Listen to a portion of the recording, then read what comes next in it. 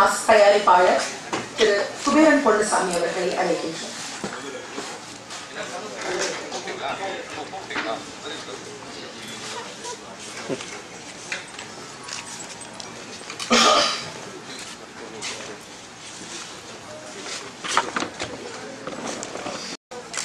Kuberan cinemas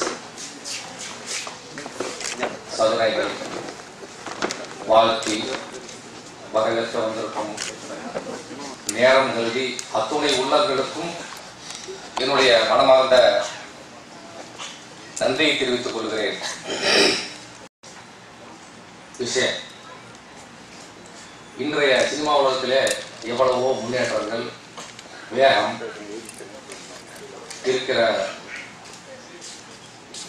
காரணத்தால் என்னை போன்றவர்களும் சினிமா தயாரிக்கும் அளவிற்கு முன்னேறியுள்ள நிலை இருக்கிறது. அதே சமயம் நான் என்னை போன்றவர்கள் படம் எடுக்க சினிமா படம் தயாரிக்கலாம் என்று யாரிடம் சொல்லி இருந்தாலும் இவனுக்கு வேலையே இல்லை உடம்பு கட்ட பையன் அப்படின்னு தான் சொன்னாங்க அன்னைக்கு. இன்றைக்கும் சொல்லுவார்கள் நன்றாக இருந்தால் இவரை போல் புத்திசாலி இல்லை.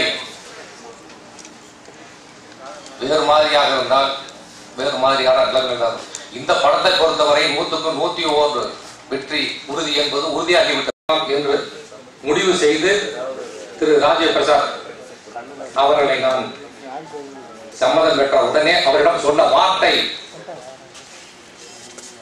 ஐயா மற்ற கம்பெனியை போல் எங்களோட கம்பெனி இல்லை. இதோ ஹாட்டாக இருக்கிறது.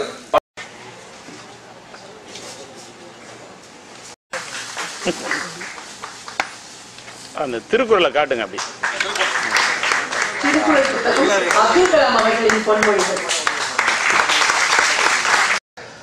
தயாரிப்பாளர் வந்து ஒரு இயக்குனரை இந்த அளவுக்கு பாராட்டுறது இன்னைக்கு சினிமாவில் ரொம்ப அபூர்வம்.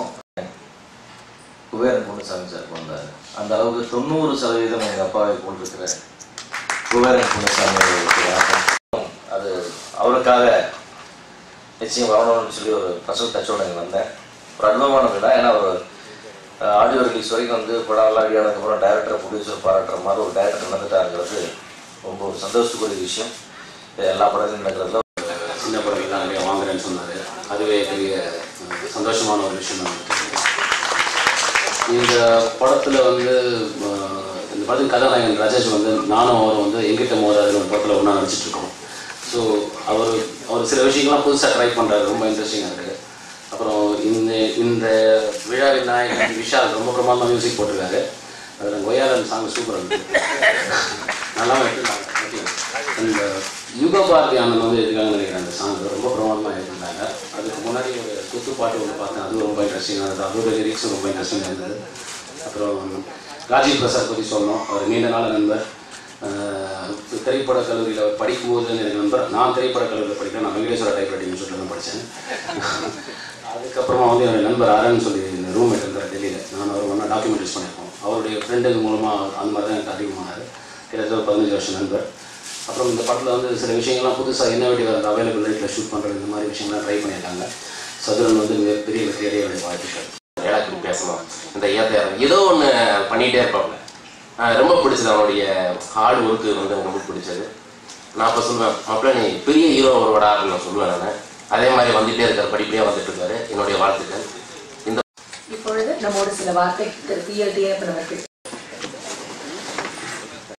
ஸ்ட்ரைட்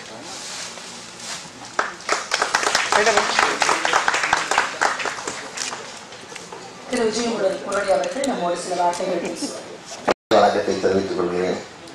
சதுரன் படத்தோட ட்ரெய்லரையும் சாங்கும் பார்த்தோம் நம்ம. அந்த படத்தில் ஒரு ஆட்டோ மெயின் கேரக்டர் இருக்குன்னு நினைக்கிறேன் படத்தில். அதனால தான் பாட்ஷா படத்தை இயக்குன சுரேஷ் கிருஷ்ணா அங்கே வந்திருக்காரு போல இருக்கு. அவர் இங்கே கூப்பிட்டு வந்திருக்கிறாங்க. அதே மாதிரி பொதுவாக அவனுக்கு குபேர ராசி அடிக்கிறப்பா அவனுக்கு குபேர குபேர தசை இருக்குன்னு சொல்லுவாங்க. தயாரிப்பாளருக்கு அதுக்கு பிறவிலே இருக்கு போல இருக்கு. அவருக்கு ஒரு நல்ல மனசு.